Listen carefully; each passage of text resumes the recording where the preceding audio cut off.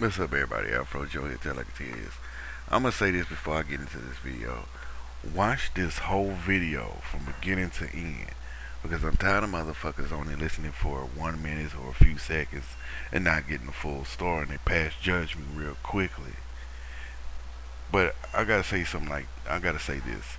I sat here and I watched the whole Duck Dynasty, Phil Robinson getting suspended from the show, and to me, I think it's like this: how come everybody is really coming down on Phil Robinson because he said homosexuality is a sin, but when he came down to Alec Baldwin saying, calling the photographer a fag, or Tracy Morgan saying, "Oh, if my son is gay, I'll punch him in the throat," and they have their publicists write apology letters. They showing on TV. Look, man, when Tracy Morgan and Alec Baldwin had their publicists writing apology letters, that's not them apologizing for nothing. That's not apologizing for nothing. But I tell you this, it's like this. When you see celebrities like Alec Baldwin, Alec Baldwin and Tracy Morgan sitting up there calling people fags and queers and so on and so forth, using them slurs, them homosexual slurs, they don't get called homophobe. They don't get called sexist or nothing.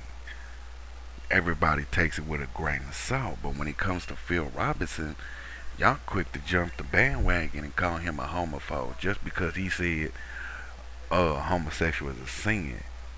Now everybody knew that the Robinson family is a religious family.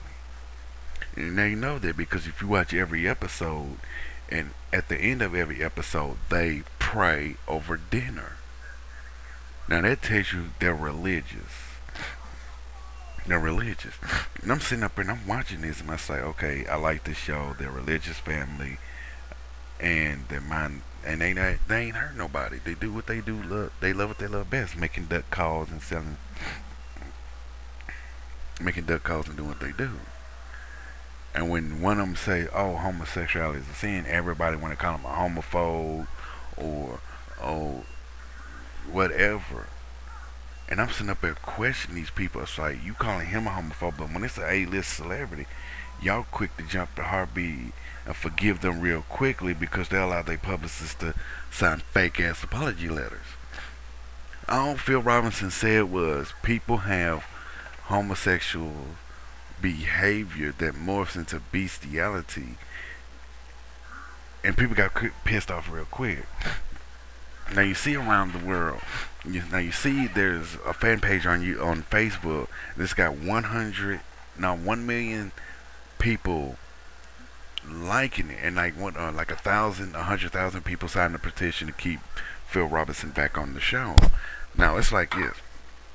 I've talked to some of my friends on Second Life, and they kind of agree with me on what the what the hell I say. what the hell I say. It's like they said the same thing. It says people are getting too sensitive. When somebody say homosexual is a sin, they re- quick to judge and pass judgment on the person who said homosexual is a sin.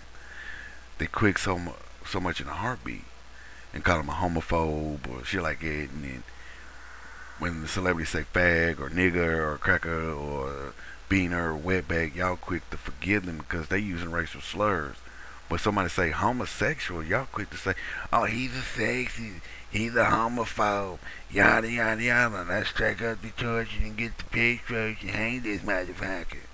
Y'all quick to do that in a heartbeat. I say, I understand there's kids out there that are coming out the closet. And I feel bad for them because they get bullied for that. But when you sit up there and you pass judgment on somebody saying homosexual is a sin, you're no different than the bullies who pick on the kids that are gay. You're probably say, Afro Jim, you shining with this homophobe. He's not a homophobe. He just said he said homosexuality is a sin. And I thought our First Amendment right was the freedom of speech. And I thought we had another amendment that have our own that, that we could practice our religion. And all he did was quote something out the Bible in the Bible, the good book says man should not lay down with man. That's from the Bible. Now you quick to just, oh, he's a motherfucker. Say, hold on, he quotes something from the Bible. He's a hip, he's a homophobe. And it's in the Bible, and it's in every religion. Homosexual, homosexuals are not looked upon as saints. They look they look down upon as sinners. Like I come I come from a Bible Belt state myself, Tennessee, and they do that. To me, it's like is I do go to church. I do I do believe in God and Jesus. But one thing it is, if you're gay, that's your fucking business. It's not mine. Whatever you do behind closed doors is your business. That is how I see it. If I, I have a relative that is gay, I have no shame about that. Then I have a gay relative. I am not ashamed about that. When my relative came out and said I'm gay, I said, look, we can go to a strip club if we can both have some fun. I can get a woody, you can get wet. That, that's how it is. We both people. We bleed the same color of blood, red. Just because me and you like the same set, me and you like the same thing doesn't mean we're no different just because you're a female and I'm a male doesn't—that's the only difference part. I'm piece setting up, you piece sitting down. That's the only difference. You give birth, I can get you pregnant. That's it. Same with the man. Same with the homosexual. Same with a gay man. A gay man can sit there and be cool with the female that is heterosexual, and they can go to a strip club for females and, and gay men. and that's how. And so when people sit up there and sit there and call him a homophobe for saying that homosexuality is a sin, I think they blew it out the water. They blew it out of proportion. I don't think calling this man uh, a homophobe because he believes in something that you don't. It's like I said, you can't compare apples and oranges. He says homophobe. He says homosexual is a sin he gets called a homophobe. Alec Baldwin and Tracy Morgan can say all the racial slurs about people who are gay and they get by. They get by. They get the get the benefit of a doubt. And I think it's wrong that y'all look at Phil Robinson as nothing but a redneck trailer trash mother motherfucker. And I think it's unnecessary to look at him as different as you see Alec Baldwin, Tracy Morgan, Justin Bieber, whoever just because he built duck calls and he had started a business and his son took over and made it into a multi-million dollar company does it not make him any different than Alec Baldwin and Tracy Morgan? Just because he's a celebrity on the small screen doesn't make it any different than a person on the big screen. But Alec Baldwin called that photographer a fag he lost his TV show, but he can get all the movie deals he wants. Phil Robinson, he says homosexual is a sin. He's losing everything.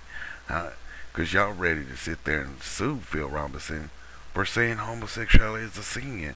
But y'all won't sue Alec Baldwin. Y'all won't sue an A-lister. If Justin Bieber went out to the gay pie parade and got on mic and says, all of y'all burning in hell, you fucking queer ass fags. Y'all would kiss his ass in a heartbeat.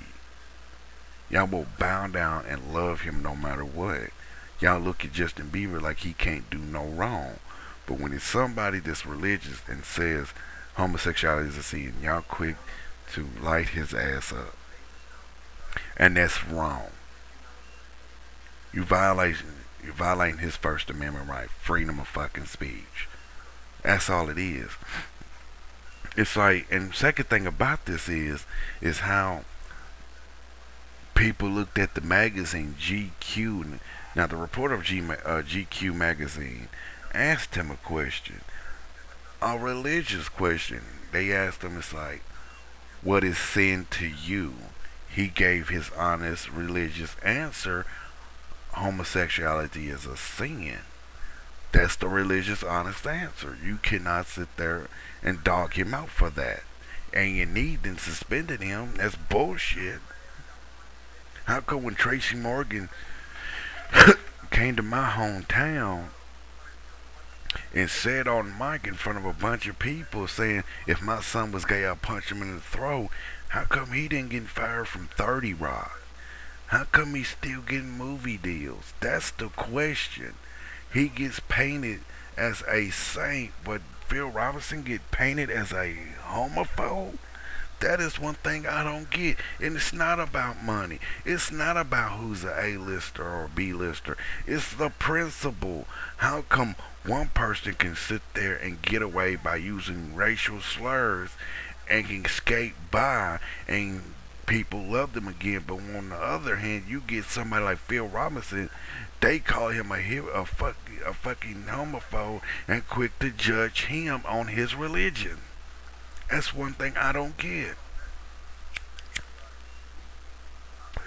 That's what I'm questioning. And then y'all gotta realize I hate tabloids with the passion. The reason why I hate tabloids is like this. When the reporter of GQ magazine interviewed him, nobody was there but Phil and the reporter.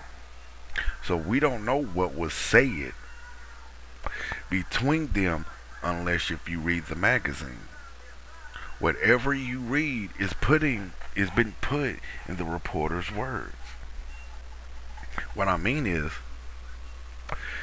a reporter that writes for a magazine can write down anything he or she wants. The reporter can write down this celebrity or this person think that blacks are uneducated coons. And y'all believe it. Same if they said, I think, same as the reporter would say, I think that they'll write down, oh, Mexicans are nothing but wetbacks living off the welfare of the U.S. government. They can write down anything because we're not there. I thought people would have wised up by now. The last, because one thing is, the news has been caught in lies since that's what the 60s, 70s, and 80s, and even the 90s. You know, and y'all still believing what's been put on a piece of paper by a reporter. And that's how I see it. Y'all quick to judge and all this and that. Feel I was having faith. He's a mother. Yeah, yeah, yeah. I can understand if he sits there and say it on cam, on tape, that black folks should burn because they're nothing but coons and ignorant, not out of watermelon, water, eating watermelon and chicken and drinking grape soda. I can understand that picture bitch all you want. On that part, yes, on that part you can. Because he was out the way on it. But when it comes down to somebody saying homosexuality is a sin, y'all quick to judge him on his beliefs. We have every right as an American citizen to believe in whatever, whoever, whenever. If you believe in God and Jesus, that's your business. That's your religion. If you believe in Buddha, that's your business. That's your religion. If you believe in Allah, that's your business. If you believe in aliens, that's your business.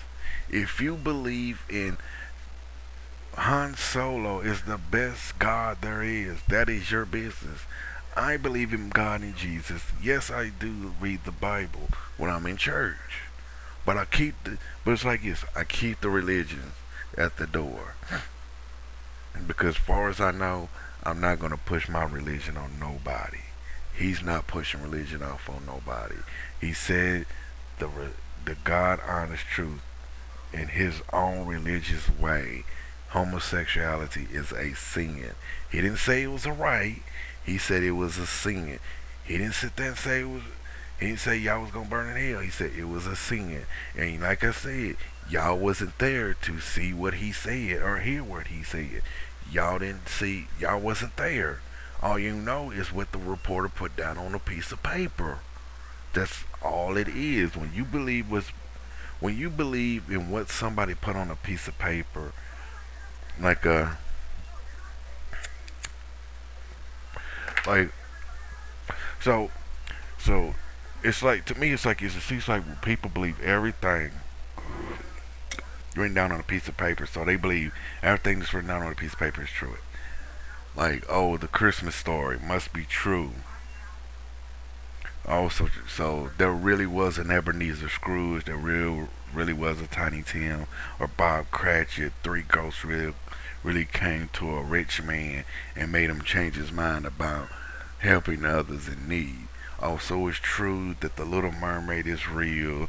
Some half female human being and half fish really talk to people on land. Also, it's true some white girl sat up there and met seven little white dudes and was about to get killed by her evil queen mother. Also, it's true that Cinderella was a slave to her evil stepmother and stepsister. It must be true because you believe in everything that's in the GQ magazine, but you don't. But you don't believe in a fairy tale. You got to look at these tabloids like it is a fairy tale. Whatever they put out on a piece of paper, you can't always believe in. You can't. Some things you can. Some things you can believe in because 50% of what's been printed on papers are true. Facts. Real. The other 50% is bullshit fairy tales made up fantasy. When George Lucas wrote the Star Wars book, it was labeled as a fantasy, not real. Same as when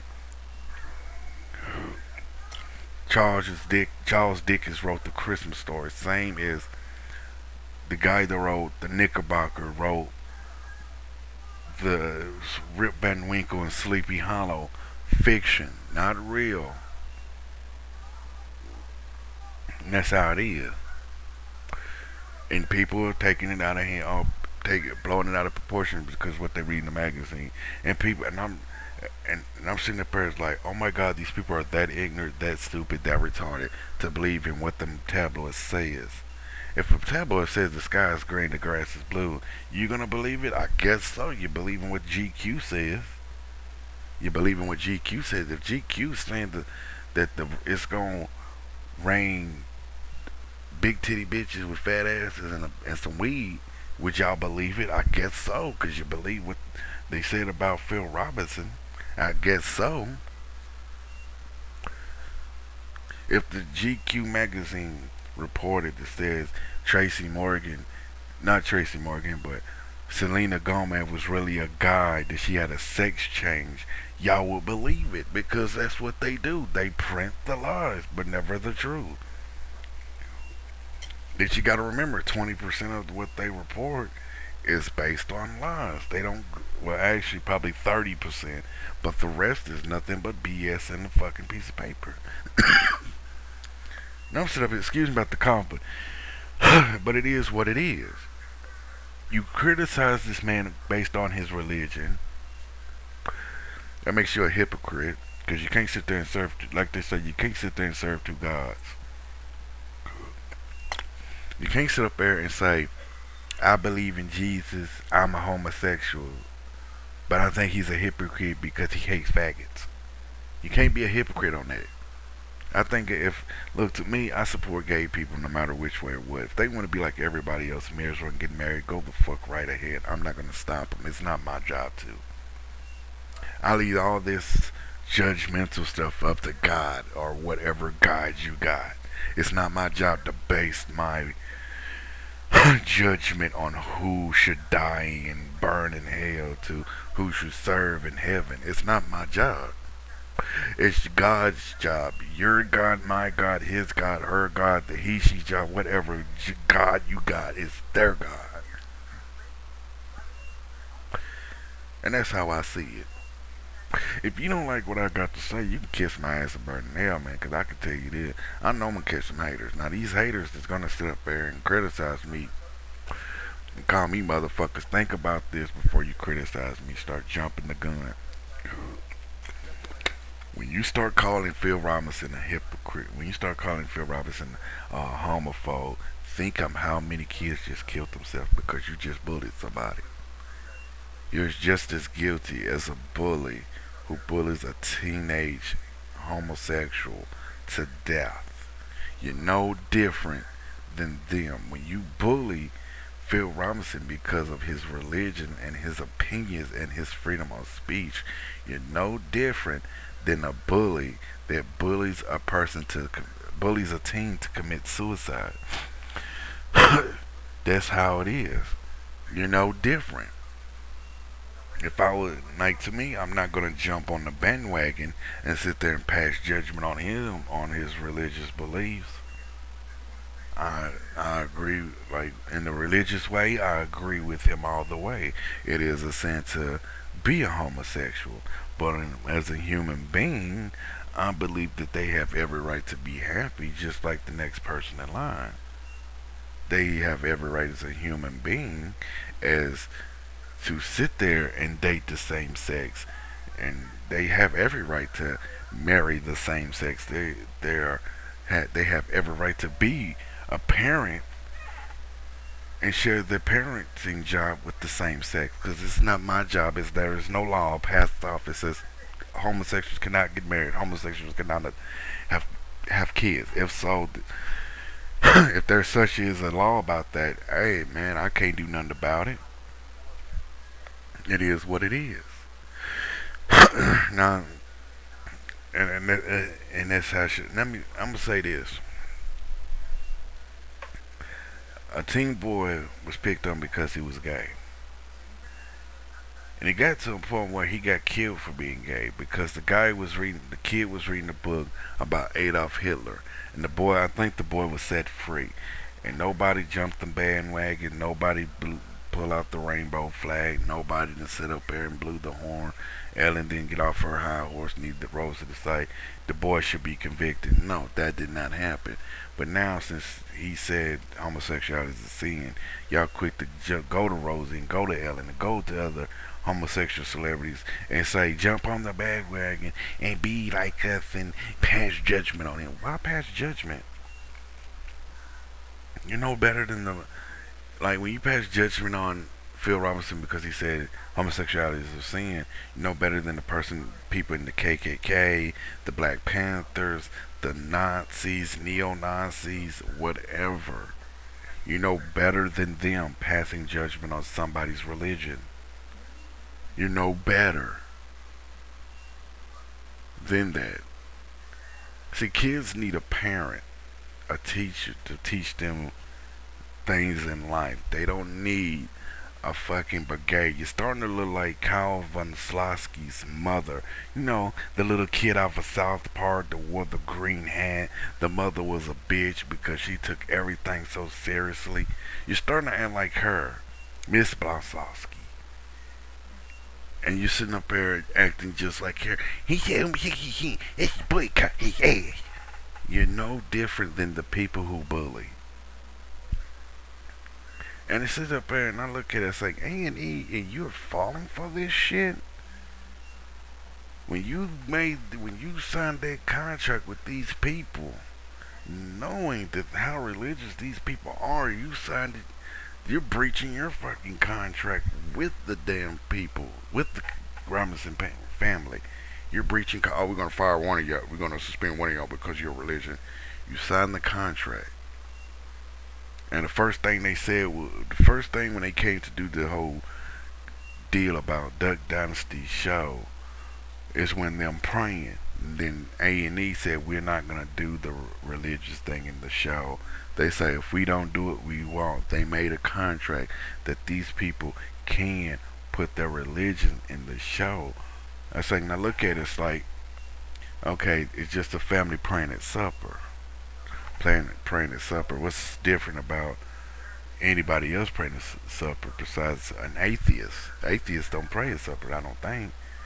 But I know that some people in every other religion do pray at supper.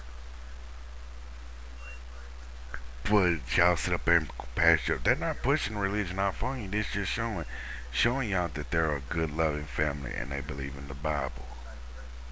They're not thumping the Bible. They're not going to going up to you say you need to stop being a homosexual for you burn that. Y'all I ain't seen that. When you see them, it's like Phil Robinson has four kids, four boys. You only get to see three of them. There's Willie, and there's Jep, and there's Jase.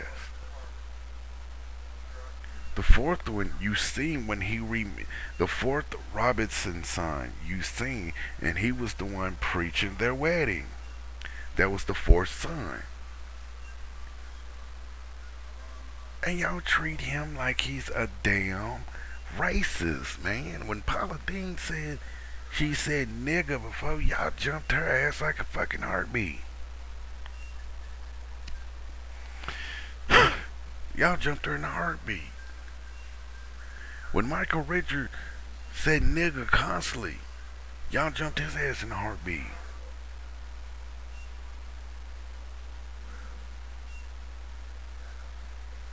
I'm tired of this shit, man.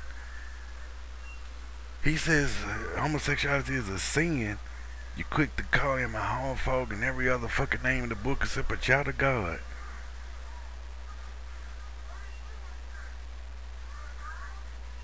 But like for real, man, watch up on this bandwagon because of his religion? Y'all no different than them damn bullies in school and online. So to me, when I see somebody bullying him because of his religion, it means you you hate your kids and you want your kids to die too. Because if you're bullying your ki- if you're bullying him, you're no different than the bullies in the school that's online. You're no different. You're the same. Look, why don't why not jump on the bandwagon for something good, man? Like I've sat there and I've seen Lady Gaga jump on the bandwagon, same sex marriage, yay. Homosexuals in the army, yay. Something like that, jump on it. But when it's somebody saying, speaking their belief about, speaking their beliefs on their religion, that should not be a fucking problem. It shouldn't be a big ass issue. It shouldn't be something to sit there and use as a weapon. Your God is my weapon. That's what's wrong with people. They want to use somebody's religion as a weapon towards to get back at them. I support. Uh, uh, I support Phil Robinson, but you got to look at it like this: It's 2013. It's time to grow up a little bit. It's time to grow up a little bit. That's what I gotta say. But second thing is, you don't sit there and man on his damn religion. You're just as bad as the people judging homosexuals, judging black folks, judging white folks, judging Hispanics, judging Asian folks, judging Jewish people. You're no different than them. When you start doing that, you know better than a bully. And that's one thing that gets on my nerves. I said, if you cannot sit there and judge him because what he believes in, you're just as bad as the people bullying the kids in school. And that's how I see it. this has been Afro Joe 10 like a TA. It's like I said, watch the whole damn video instead of sitting up there skimming through it. But this has been Afro Joe 10 like a TA is. Follow me on Facebook. Follow me on, I'm going to say, follow me on Twitter at Afro Joe the Wookie. Follow me on Tumblr. Subscribe to my channel, CeeLo Jr. 2, CeeLo Jr. 3. That's how it is. Don't pass judgment on somebody's religion because you're no different than the people who are racist, who are sexist, who are a homophobe. Oh. That's how it is. You're no different. You're just just like you're just like the kids in school bullying. Just like the bullies in school and, and online. You don't mind for your kids to die, getting bullied to death. You don't mind. To me, my eyes, that's how I see it. This has been Afro Joe 10 like it is. I had to get this shit off my chest anyway because this shit was getting on my nerves. Peace, love, and Afro. Peace, love, and Afro Grease. And shit, man, do the right thing instead of being some fucking hypocrite. Damn. Grow the fuck up. A&E, I could tell you about to catch a lawsuit. It's bad enough saying if they don't, look, they already say it. The Robinson clan already, the Robinson families already say it. If you don't bring Phil back on, we're walking. It's in contract, motherfuckers. You can't break contract. Since all, since every every member of their family signed a contract with A&E, and they all clearly states that they need that they're packed. They're packed. So if you fire one of them, you just breached the contract. So they have every right to sue an A and E. Peace, love, and Afro Grease. Tell me what you think. Do you think Phil was in the wrong? Do you think people are bullying him just like the kids in school because of his religion? Or do you think this just was a misunderstanding? Peace out.